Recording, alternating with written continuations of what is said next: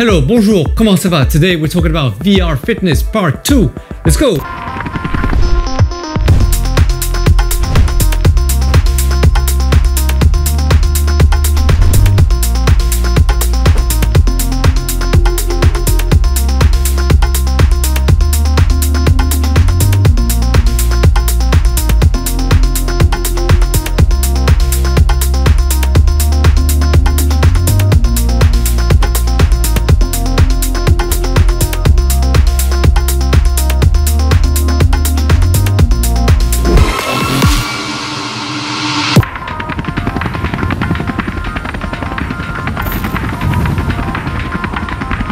Welcome back guys, I hope you enjoyed the little montage there. Let me give you some introduction as to what was going down so you get to understand a little bit more. Basically just before the solar eclipse, which is why there was a clip of the solar eclipse in the video, uh, I had organized a VR fitness workout class. Link in description below to the first video where the editor of Hardware Zone magazine here in Singapore came to my mixed reality studio and actually did a feature uh, filming the workout class. So it lasts for two hours. There were three different VR apps. And in today's video, there were two students who then came the next day to experience this VR fitness workout class. So today we're going to focus on Racket NX. Without further ado, let's go.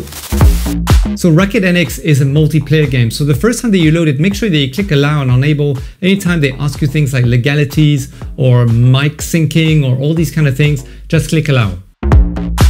Now in the settings panel, what's really good is, of course, you can, you know, adjust the settings of the volume of the special effects or the voice or the music and all those kind of things. But make sure that your mic is toggled on because later on when you try multiplayer, then you know that your mic will work and then the other person will be able to hear you. Very, very important. The other thing is you can actually upload and create your own playlist with your own songs.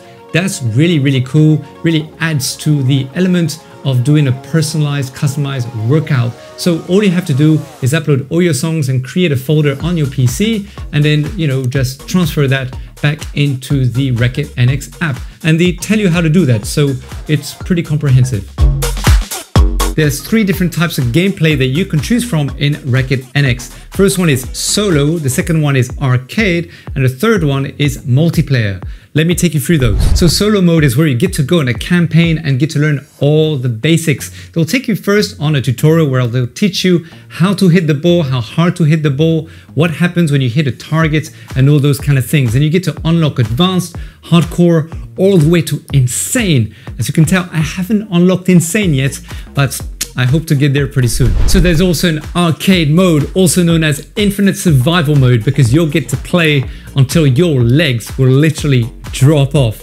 There are three different options you can choose from. The Zen mode, which is more for beginners and easygoing.